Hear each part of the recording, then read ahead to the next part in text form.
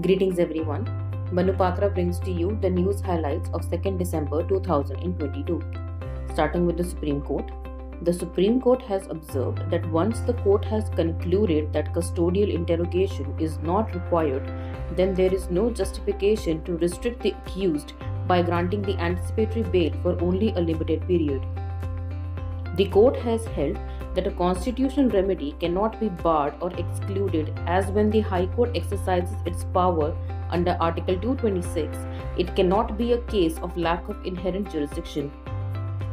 The court has set aside orders passed by the Kerala High Court in 2021 granting anticipatory bail to five former police and intelligence bureau officials in the case related to the alleged framing of ISRO scientists Nambi Narayanan in 1994 ISRO espionage case.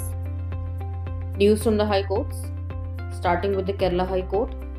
The Kerala High Court has directed the police to register FIR and take cognizance of offence of attack against doctors and other healthcare professionals within an hour of receiving the information.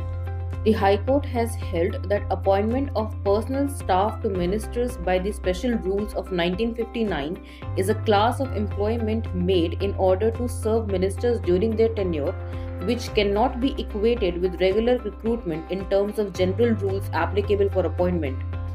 News highlights from the Madras High Court. The Madras High Court has initiated suo contempt proceedings against Swati, a prime witness to the Gokul Raj murder case for making false statements under oath. The High Court, while hearing plea for enhanced compensation for alleged human rights violation during arrest and subsequent time in jail, has held that mere non provision of certain amenities during a short stay inside the jail shall not amount to human rights violation. News highlights from the Jammu and Kashmir and Ladakh High Court. The Jammu and Kashmir and Ladakh High Court while observing that investigations must be conducted within the domain of facts in issue and relevant facts, has called out the practice of quick fixes resorted to by the police during criminal investigations.